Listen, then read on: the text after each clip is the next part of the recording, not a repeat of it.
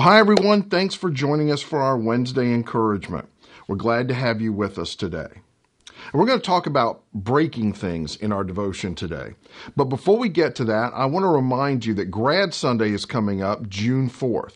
If you attend Cherry Avenue and you're graduating from high school or college this year, we want to know so we can honor you. Just call the office or email us with your information so we can have that.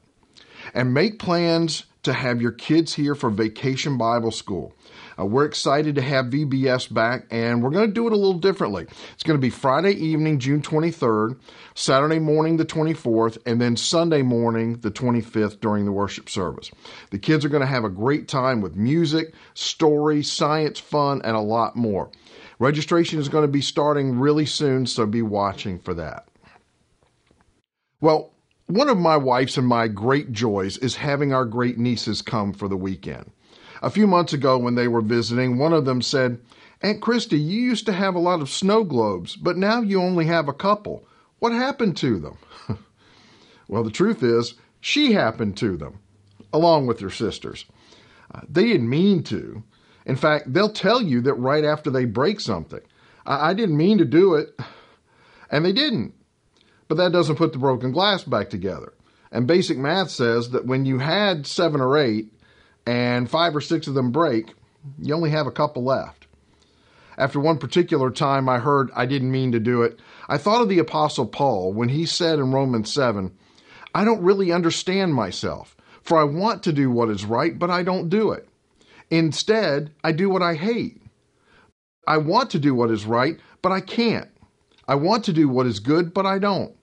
I don't want to do what is wrong, but I do it anyway. Can you hear yourself in that? I can. I don't want to lose my temper. In fact, I work at staying calm. But then something sets me off and I do it. I don't want to be critical. I try to be positive, but the next thing I know, I don't mean to be selfish. I try to think of others, but then I fall right back into it again. I didn't mean to break the snow globe, but it's kind of depressing, isn't it? But here's the thing no matter how many things they break, I still love them. Just like my parents and grandparents still loved me when I broke their china and the riding lawnmower and my brother. Well, his hand anyway. It's okay though, he got me back. A couple years later, I hit him and broke my hand. Okay, maybe that's not the best example. In the end, their love for me always overwhelmed their disappointment at losing whatever I broke or the money they had to spend on ER visits. Even my brother seems to have moved on. Then again, he was too young to remember it. And God is the same way.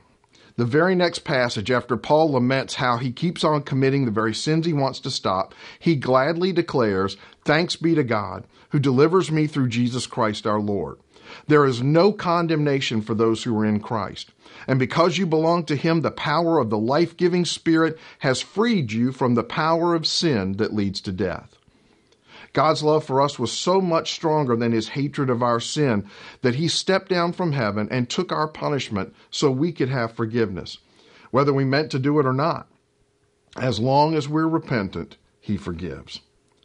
I ended up getting the girls' snow globe kits and let them make their own snow globes the next time they visited.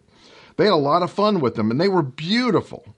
And before they could even get to the van to leave that weekend, you guessed it, one of them got broken. But hey, they didn't mean to do it.